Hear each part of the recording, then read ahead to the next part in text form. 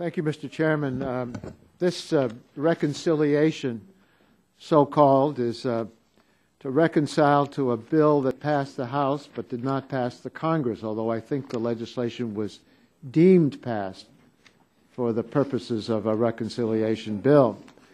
And um, what we are doing is, instead of a budget that reduces the deficit in a balanced and fair way, we are taking the Ryan budget, which specifically targets those most in need and uh, puts our nation's financial recovery at risk.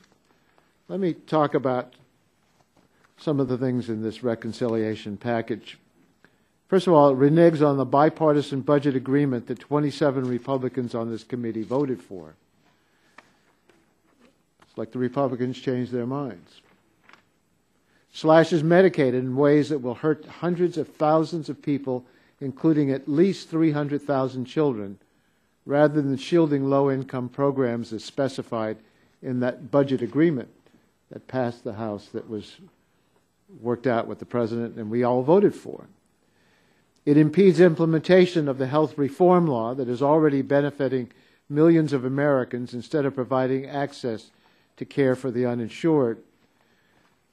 The reconciliation establishes a federal medical malpractice system that tramples on the meaning of states' rights, a central tenet of what I thought was Republican way of thinking.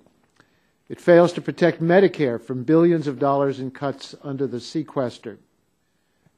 I hope these police aren't here to object to anything any of us have to say. but perhaps we shouldn't be surprised because this initiative is completely consistent with that Ryan budget resolution that Republicans passed on the floor last month. Under that resolution, defense spending is not only protected from sequestration, but increased. And it's increased uh, over investments in health, education, and research. Medicare eventually is going to have to come to an end, and people will have to take a voucher and see what they can buy. The number of uninsured individuals will certainly rise. But good news millionaires and billionaires would receive more tax cuts because the Ryan budget allows the, the Bush tax cuts to be in place permanently and then adds more tax cuts on top of it. On top of it. So uh, we're going to, uh, I think, uh, vote for a reconciliation. I suspect pretty much on a partisan basis, that um, is going to be a very uh, troublesome one and one that I don't expect is going to be law, at least while we have um, people in control of the government other than the Republicans who control the House on the Senate side and in the White House. We're also going to mark up two bills that contain the Republican response to gasoline prices.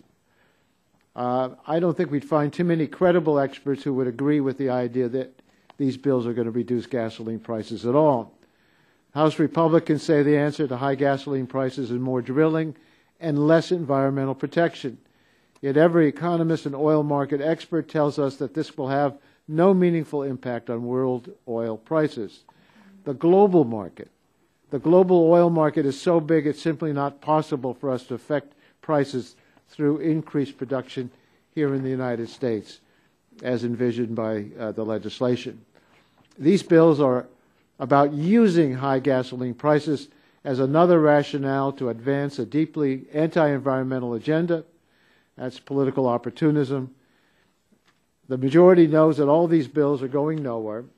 We need to stop pretending and get serious about legislating.